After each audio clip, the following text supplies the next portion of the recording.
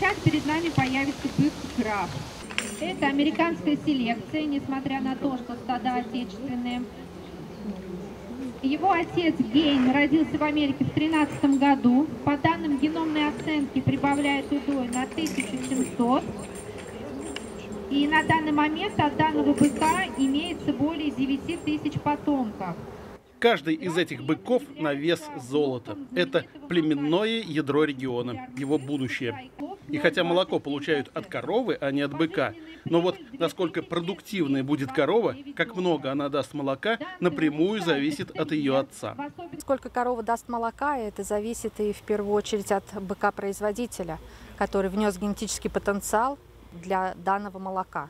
В Нижегородской области сегодня работают целых пять организаций, которые поставляют племенным хозяйствам региона генетический материал.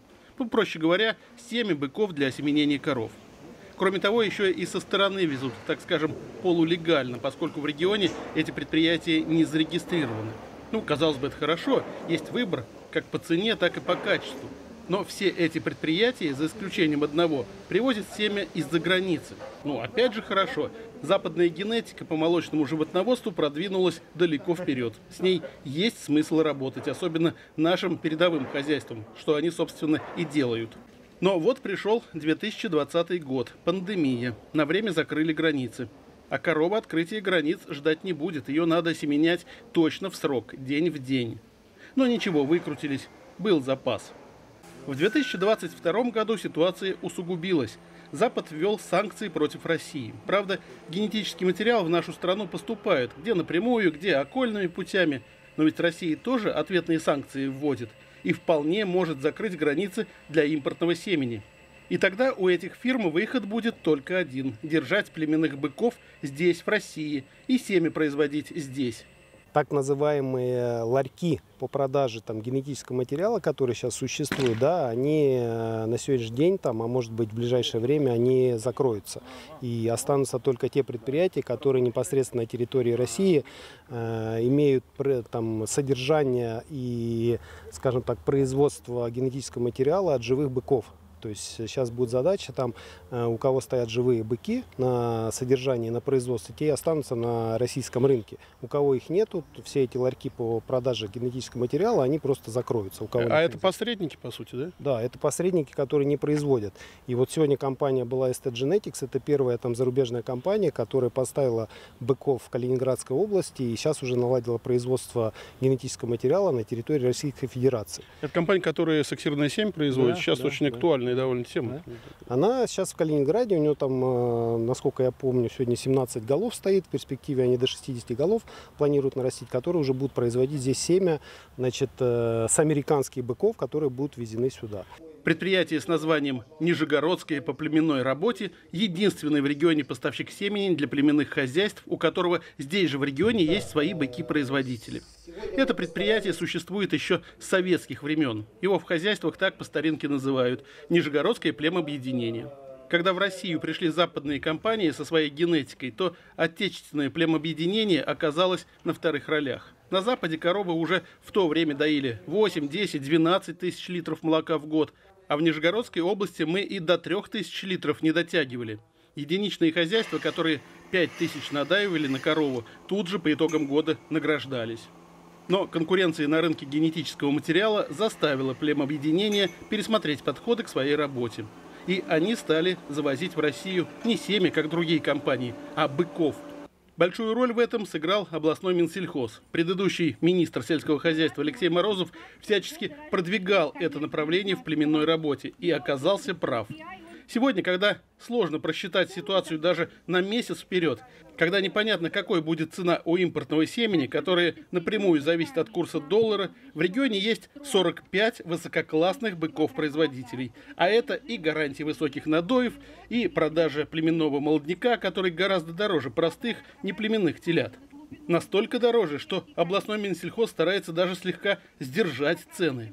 Отрадно, что наш пленной молодняк востребован, и э, мы поставляем его, он пользуется спросом в других регионах. То есть это и Республика Дагестан, и в Татарстан наш скот уезжает, и Московская область комплектуется, даже Кировская, несмотря на то, что у нас очень много скота было привезено оттуда. Тамбов, Липецк, то есть за пределами э, нашего региона, наше предприятие знают, э, спрашивают. Тем более у нас есть явное преимущество в рамках регионализации, поскольку мы регион свободный от большинства всех заболеваний, и от нас можно свободно вывозить практически в любой регион.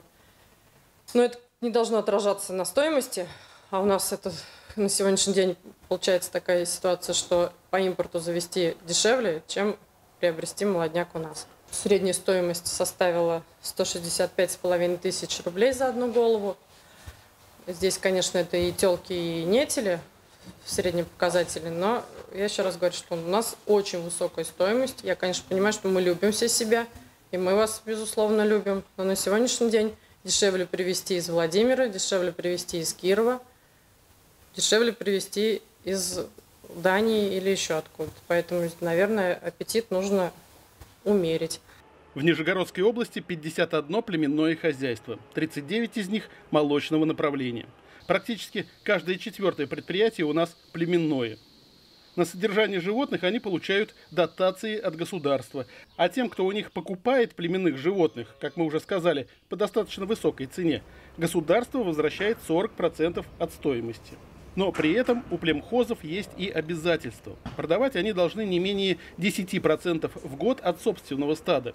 Иначе сами лишатся дотаций и область подведут, так как это требование Минсельхоза России. И за невыполнение этих требований регион получает санкции в виде штрафов. В августе месяце я начинаю всех нервно обзванивать. Продадите до конца года, не продадите. А точно продадите. И на основании ваших данных мы формируем целевой индикатор по региону на следующий год. А потом начинается в декабре. Обещал, а не женился, к сожалению. И каждая голова у нас начинается под вопросом. Не продали, не получилось, а смогли, а вот там а кто-то обещал, а и так далее, и тому подобное. На самом деле очень такие шутки, совсем не шутки.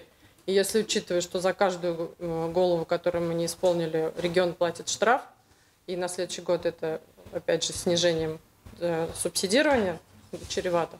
Поэтому убедительно прошу к этому отнестись со всей долей серьезности, потому что это действительно как бы э, для нас очень важно, и в том числе и для вас.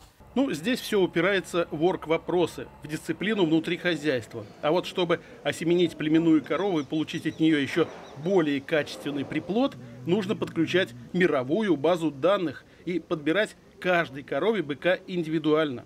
Тут важно, чтобы не было родственных связей, причем как минимум в пяти предыдущих поколениях. Чтобы у мамы быка надой был не ниже, чем у осеменяемой им коровы. Ну и еще много чего. Каждый бык, в нем заложен определенный генетический потенциал по уровню молочной продуктивности, и каждая корова обладает своим потенциалом. Если бык дает 12 тысяч килограмм, а корова дает 18, то, соответственно, он ей не подойдет, надо подбирать более высокого быка. А почему нельзя взять самого высокого быка и всех коров, простите, осеменять? Ну, здесь уже идет э, ценовая политика. Самый высокий бык, он и стоит дороже. И это уже не очень оптимально получается. Нижегородское племобъединение давно уже работает по мировым стандартам. Ежегодно сюда приезжают быки из Америки, Дании, Голландии – но стереотип, сохранившийся еще с начала 90-х, что импортные – это всегда хорошо, а местные – не очень, у многих так и сохраняется. Было, наверное, такое время, и, наверное, сейчас еще в головах там некоторых там руководителей хозяйств, зоотехников остается такое мнение, что вот там лучше купить э, традиционное семя за полторы тысячи, там, э, за две, чем купить там за 600, да.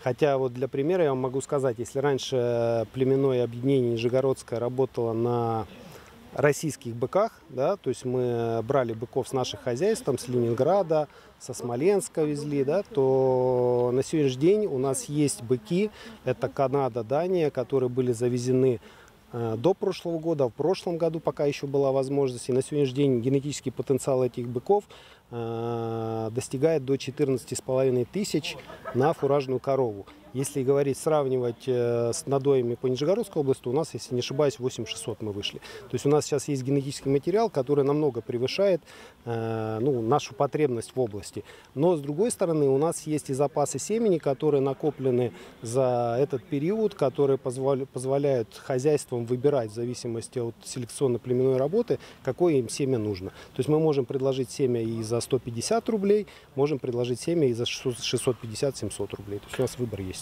С другими регионами России работаете? Да, конечно, мы работаем э, с Чувашским племобъединением. Они в прошлом месяце у нас семя брали, то есть мы обменялись. Брали они швецов, если я не ошибаюсь. Плюс с Удмуртией мы плотно работаем. Э, ну вот с ГЦВ мы тоже сотрудничаем. То есть мы э, семени, которого у нас нету по подбору быков на область, мы его, например, закупаем ГЦВ и привозим сюда и продаем хозяйствам, которым есть потребность. Ну, плюс мы еще, кроме продажи семени, там, чтобы понимали, да, у нас есть там региональный информационно-селекционный центр, который полностью занимается подбором быков, сопровождением э, ведения программы, заносом данных, э, подготовком э, племенных планов, ну, то есть полностью весь букет. В одном ряду с иностранцами здесь стоят и местные животные, рожденные в нижегородских хозяйствах. Производили их под заказ – Папа у них иностранец, мама местная, но лучшие из лучших.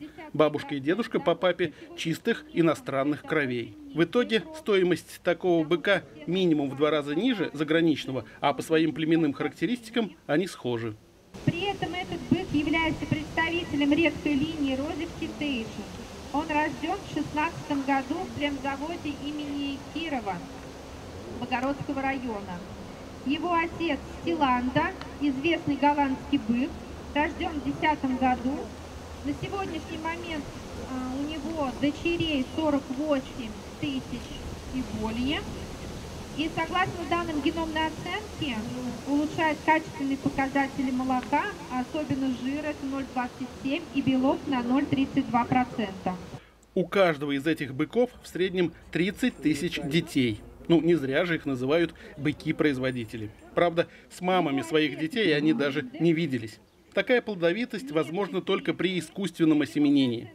Но их дети сегодня составляют племенное ядро Нижегородской области, за счет которого и получают высокие надои, а значит и прибыль хозяйства, занимающиеся молочным животноводством.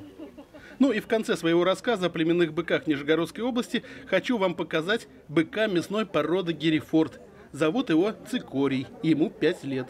Со спины он очень похож на бегемотика, с такими же короткими ногами, широкой спиной и такой же пузатый. Внешне вроде небольшой бычок, но весит он больше тонны. То, что и надо в мясном животноводстве.